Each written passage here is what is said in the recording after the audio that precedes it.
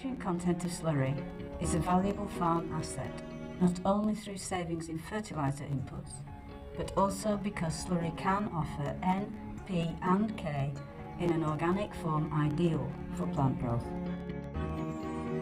Studies carried out with slurry Slurrybugs treated slurry from Myerscough College Farm showed that following six weeks crop growth, soil nitrogen levels increased and silage dry matter yields were significantly higher compared to the untreated control plots. Myerscough College Farms, based in Lancashire, comprises of a 340 cow dairy unit, a 200 head silage fed beef enterprise, and 1100 lambing ewes. Slurrybug treated slurry is applied to all 850 acres of farmland.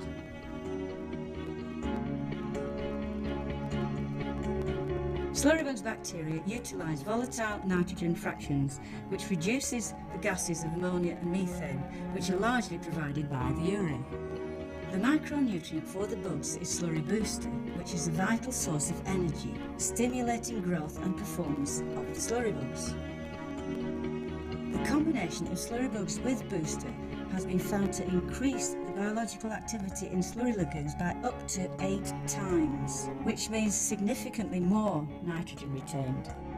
Well, my name's Roger Leach. I'm the Farm Operations Manager at uh, Myerscough Farms in Lancashire, Preston, Lancashire. Used uh, slurry bugs for three years.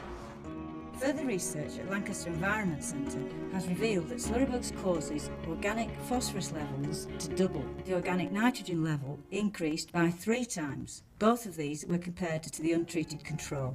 Slurry with a higher organic nitrogen content means a lower risk of nitrogen loss by leaching. This is an important aspect of NVZs and sustaining healthy and more productive soils. Overall results showed that EnviroSystem slurrybugs and booster treated slurry promotes reductions in ammonia, methane and CO2 emissions in the lagoons and achieves a more ideal organic fertiliser for sustainable and economic farming.